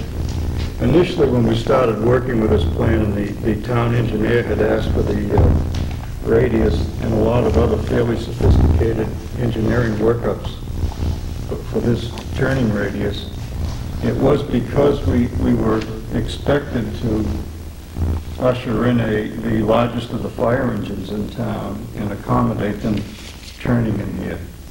We went to the fire chief, and he spoke to uh, myself and Maureen, and said that if he had to fight a fire in here, he would not want to bring an engine in. He would fight the fire from out here and drag his hose uh, across the front. With that, we then did not go through with all of that engineering work. And, and I still feel that what we presented uh, allows a good turning radius for automobiles. It probably wouldn't the fire engine. So Anyway, that's the reason behind what we did. As just one board member, I'm not real particular about uh, having a plan loaded with, with um, turning radii and and and so forth, but uh, I I think there's some common sense issues. If you look at lots um, seven and eight and five and four, um, the cars doing battle, uh, bumper battle, uh, going against each other there. I I think if if uh, you're willing to concede some perhaps alternative use of four and five, um, where we prevent cars from going in here, um, the U-shaped driveway itself um, alleviates a lot of of uh, the concerns for um, extensive turning. I mean, there's a, number 11 is problematic. Uh, uh, I agree with you on your employee parking. The size of your operation doesn't require that there's um, any great level of, of uh, employee parking here. And, and, and while it's not optimum, um, if somebody has to move somebody else's car, that's what they do uh, to get in and out. But uh, um, th- that's not a concern. I'm, um, I, I guess I'm looking for consensus from other board members uh, as what what's reasonable. Um, I- to come back. On your comments? Sure. I, uh, um, I like the suggestion earlier about possibly making uh, spaces four and five motorcycle and bicycle spots. You just mentioned uh, seven and eight, and I'm just, what what do you have in mind? Well, I mean, uh, cars in seven and eight backing out at the same time cars in four and five are are trying to leave. You're going to have people constantly getting squished in between there, and hopefully those people are in cars and not walking by as they're they're doing bumper battle there. Uh, I think you can prevent that just by using an alternative use of those two spots. And Not to mention that it's very difficult to get a car in there. There's times that you basically have to pull into number seven or eight and back into those anyway. Uh, A bicycle or motorcycle use, um, much more um, circulation friendly, I guess. Mark? Um, What jumps out at me is the sort of remaining uh, difficulty, now that all of these other things have been solved, is there seems to be uh, sort of a built-in conflict uh, with regards to lot, uh, space number 10 and space number 11. If there's a car in space number 10, in order to get into space number 11, you've got a very slow, tight right-hand turn, followed by an immediate tight left-hand turn that looks very difficult to negotiate unless you are in a smallest of subcompact cars. Um, And in addition to that, uh, space number 10 I- I- presents a problem backing out where there's only 18 feet of clearance to back out into. Uh, In a supermarket parking lot where you have 24, uh, sometimes it comes very, it comes very close to barely working if there are pedestrians traveling back and forth. I could see someone in space number 10 backing out toward what I think is a fairly large tree adjacent to uh, spot number four, then needing to drive up toward space number 13, then needing to back back again against traffic, and then finally going out. It it almost seems like there might be some sort of uh, angled configuration for spaces 6 through 10, even if it didn't accommodate, you know, accommodated one fewer that would allow easy access into space 11 or, or not have space 11 or somehow to clear up the backing issues in there so that there could be safe Yeah. backing while pedestrians are going back and It forth. being one way this way, I would foresee somebody that had pulled into space 10 backing right out into this area, in which case they'd have plenty of room, and then just pulling out this way. I wouldn't foresee... Well, They might hit somebody in space 14. Cars, cars are deceptive, especially with American cars, because they, they tend to swipe through a lot of ground area when they turn. Uh, You know, even the smallest uh, imports have turning radiuses that are, you know, just a little under 30 feet. I think, you know, theoretically, any car pulling out of any spot could hit any other car parked there. I don't see the possibility of a person hitting, pulling out of spot 10 and hitting somebody in car 14 unless they were under the influence or, uh, What I'm saying is that, that there- there seems to be a situation here for Y turns and cut and fills to get in and out, which in some instances, if it's a a camp on a lake or a single-family house, work fine, uh, and it's the sort of the price you pay for saving some space. Uh, But in a, in what is a sort of publicly traveled area, um, you know, they might be they're a little harder to negotiate and uh, and not as, uh, so not as acceptable. back to the radius dimensions issue. Steve? Mr. Chairman, I I think the reality of the situation here, and I recall the applicant saying something to this effect when they came uh, before the board originally, uh, I don't think anyone uh, would necessarily lay out parking in this configuration if they wanted to invest the money to do it otherwise and to disrupt an existing site enough to do it otherwise. Um, I recall the applicant saying that they were trying to work within the gravel areas as much as possible, and I think that's what this plan demonstrates. Uh, I think, in my experience, backing out into an 18-inch, an 18-foot wide maneuvering lane in perpendicular parking is very difficult. Uh, A typical, uh, Mark is correct, a typical uh, aisle is 24 feet at a, in in any shopping situation. I'm willing to uh, proceed with this plan if there's a safety net for the planning board to assess the impact on the site and have the applicant come back at, in, at the end of a, a season or at the request of the planner if things are not working within uh, the configuration demonstrated on the plan. Who you propose would monitor that? Uh, We've got uh, several board members, a code enforcement officer, and uh, a town planner. We had a similar um, requirement for the Mobil station when we looked at the lighting there. Um, If it wasn't acceptable, they they came back to the board, and then uh, they haven't been back. But, um, yeah, I'm not sure, and perhaps we looked at that to to see what triggers uh, any. um, I I guess if, uh, and I, and I don't disagree with Mark at all, he's absolutely right, to come in here, turn right past space 11, and then get into space, uh, past space 10 and get into space 11 is a very difficult maneuver, and it's even worse if someone comes in behind you who's trying to get into space 12, or if any number of those spaces is- is used and someone's trying to get out. Uh, There's no doubt in my mind there's a significant bottleneck there, and I think the way it'll be alleviated is people will tend to splay the parking around that corner, and all of the parking in that area will become perpendicular parking. They won't necessarily go way back where those wheel stops are. And what you'll end up doing is having either one or two perpendicular parking spaces sort of flaring uh, next to space 10. Uh, And then there'll be this gravel area in behind there with two employees' parking spaces. And and I'm wondering if that isn't something that the applicant might consider as an alternative. Your idea to test it for a season and then come back? No, to, just to eliminate the configuration of 11, 12, and 13, and and where you have the 18-foot wide width, put two perpendicular spaces in there, and uh, with the understanding that someone would get to the dumpster because the dumpster is serviced off hours, and employees would get to their spaces because they are generally there earlier in the morning, and they would come at a time uh, when it would not be necessarily inconvenient to get, um, if there's someone in that parking space, they would simply wait for them to move and then pull in. I, I I think that's the reality of the way in which the site's going to be used, and and, uh, why don't we bite that bullet now? Judy? I would say, um, flip side to that is, again, I have no problem being flexible, but I, I guess the way I would look at it is why wouldn't one have, for instance, an additional parallel parking space where one, two, three are, so you have at least four cars there.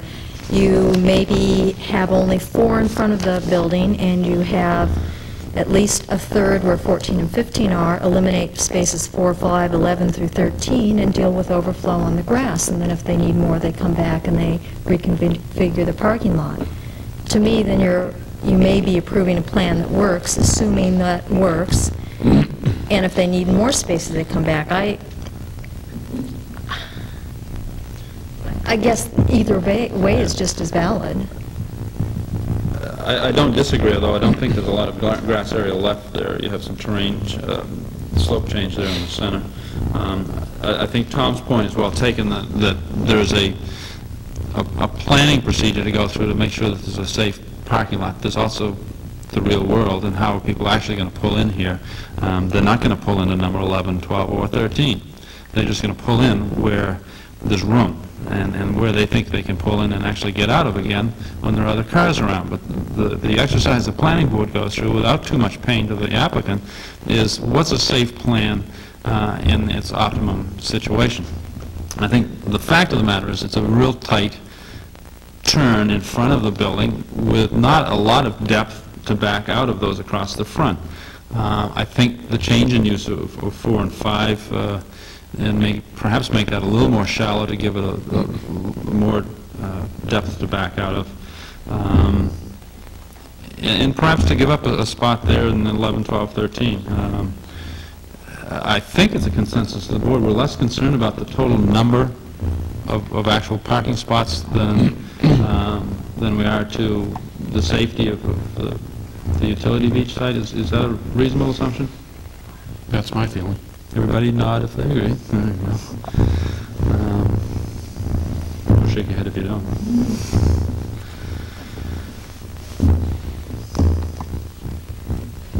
Actually, I think we would be willing to, to consider this. It seems like a pretty good uh, plan to me, and like you say, in reality, that's, when you look at it, uh, probably a pretty good way for people to pull in, and then we could, uh, this whole area would be loamed and seeded, of course.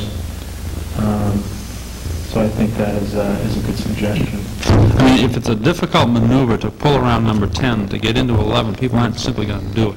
Right. And they're going to pull it at an angle that, that works okay, and they, they think they can get back out of. Um, At the same time, from a planning perspective, we don't want to approve something that simply says there are three lots there, and they're not very uh, wisely done, and then we have an accident, and, and um, somebody comes to the planning board and says, why did you approve that?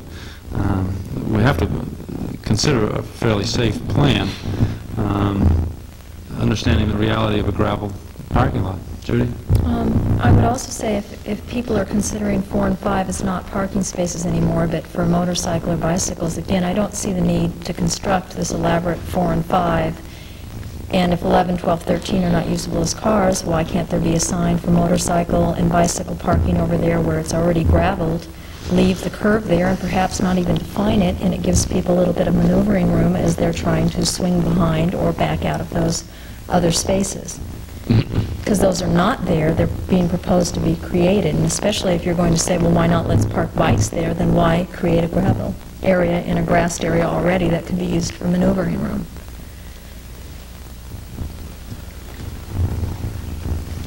I I guess I see it as more than maneuvering room, but, um, Tom, I wasn't real clear on what you, your original intent for the, you- Judy, you're talking about the 11, 12, and 13? Yeah, I, I think, sure, I, I guess the concern I have here is- is that the board now is in the, in the business of re redesigning a parking lot, and I, I've gotten to the point now where I feel uncomfortable with that.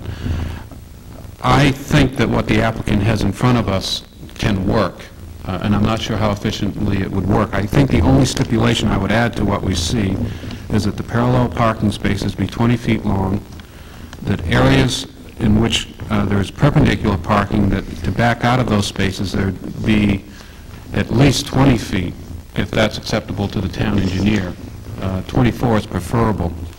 And that may mean that 11 and 12 and 13 have to move a little closer to the side lot line, Um, and that those uh, spaces 15 and 1 be flared so that they're easy in and out spaces. And I'd prefer to leave it at that, and let's see how it works. Uh, I I guess I'm to the point now where there's so many different alternatives, I don't want to be designing the parking lot as a board for the applicant, nor do I think the applicant necessarily is interested in our being involved in the process in that way. I just would like some, again, I want it understood that where we see existing gravel, that the gravel will be transferred and uh, it will be trans, will be converted to to grass in some areas, and those edges will be protected, so when we go to the site, there's some reasonable understanding of where the limit of the parking is. And it'll be very clear that the the driveways have been narrowed up. And I- And I think that's a good compromise to taking a, an- let's call it an incubator business, I'm not sure it's an incubator company, but an incubator business on this site, getting it started and see how things work out. I mean, Who knows how long the lease is going to run and uh, get things moving. The only other thing I would say in in respect to Judy's comment about adding another parallel parking space uh, on the entrance and exit driveways is I feel that would get the cars too close to the uh, drives and and there could be some uh, tough maneuvering with those parallel spaces, and I think that should be interior to the parcel as much as possible.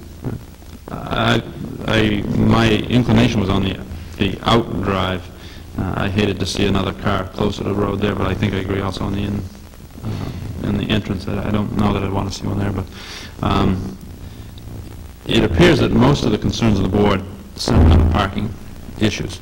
Um, I just want a quick consensus from the board, or disagreement from the board, whichever.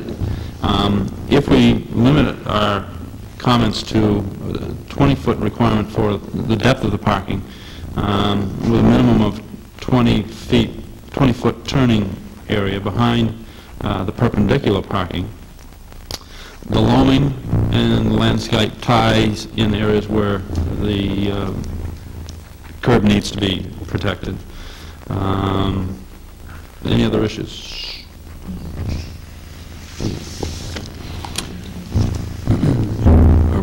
Have we, Oh, it's, I'm sorry, also angling out of 15 and 1, whether that's a 45 or 30 degree angle, simply so cars can enter and exit with greater ease.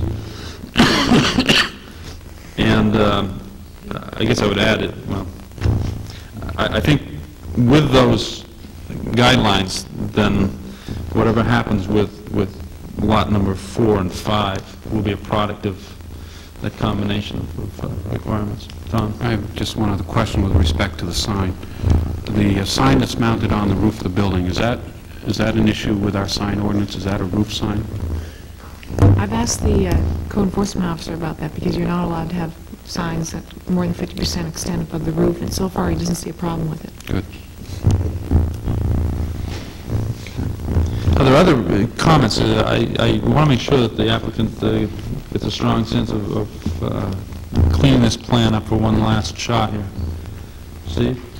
well, I, I have to agree with Tom that we're not in the business for, of designing parking lots, and it seems to me it's incumbent upon the applicant to come back with a parking lot design that works for them. Um, If it works for them, then in theory it should work for us, because then it will, it'll be safe, there'll be plenty of room for turning around, getting in and out of parking spots, et cetera.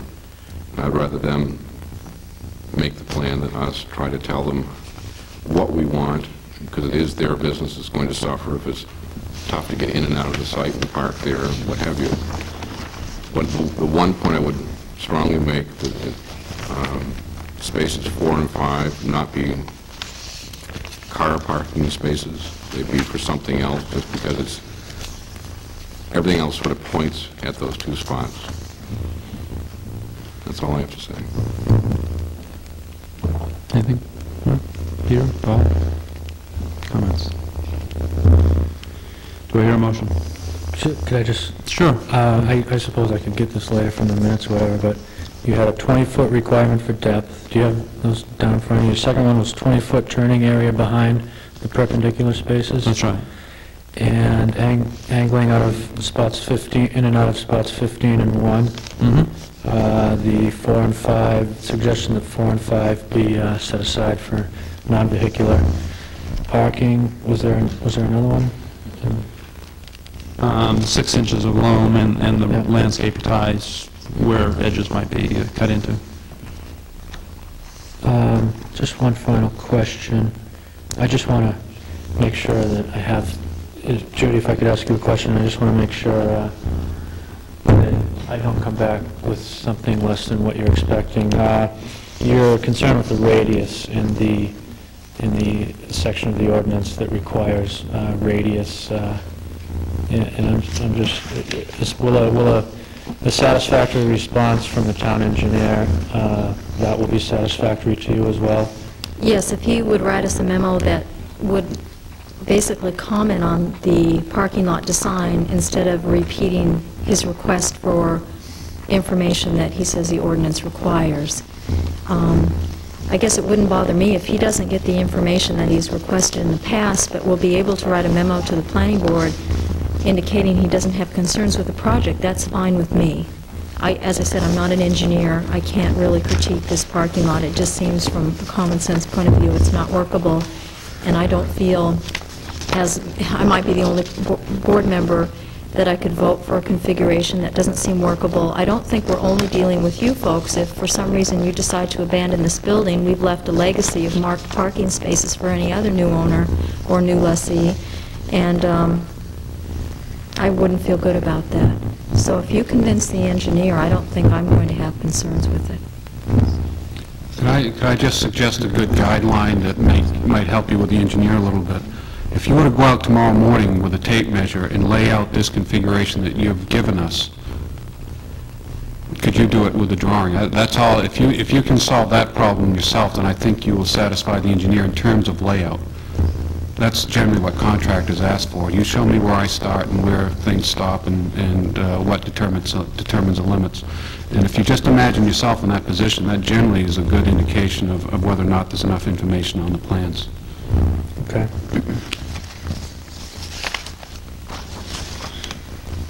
Do I hear a motion?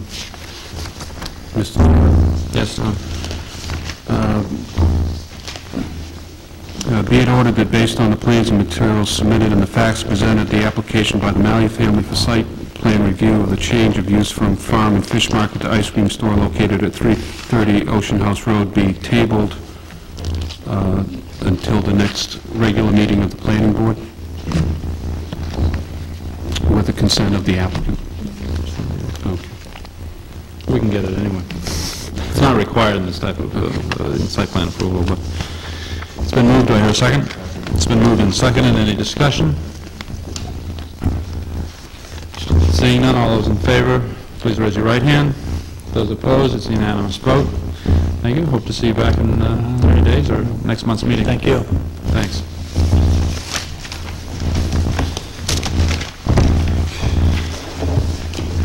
One last order of uh, other business, we're about an hour behind schedule, but that's all right. We have the amendments to the subdivision, sorry, technical amendments. Amendments to the subdivision zoning ordinances intended to clarify, it uh, just struck me funny, intended to clarify existing procedures, but also including provisions to shift the cost of the planning board and engineering reviews to the applicant, limiting the length of all site plan approvals to one year. Ordinance amendments, public hearing, section 19-4-9. I will start uh, this article by opening a public hearing. There's a vast number of public members out there who wish to speak and and make comments on the uh, technical amendments, sometimes amazed by the large crowd, and those folks listening probably don't realize there are hundreds of people here waiting to speak. All kidding aside, um, we spent a lot of time on these. Um, Are there any members of the public who would wish to speak at the public hearing? Seeing and hearing none, I close the public hearing, and we move directly to comments and questions by the board members. How would you like to proceed through this, other than in the quickest possible manner? I would, would just suggest that sometime early on, we go over the comments by the, uh, the attorney, Michael Hill. Um, If you have questions on how those apply, I know Maureen and I both had some questions. I think Maureen, did you finally reach Michael today? I called him, and and we did not speak before tonight's meeting, but I did go through his letter, and I made a, um, most of the corrections that he recommended. If the board would like, I can go through his letter briefly and explain which corrections were not made.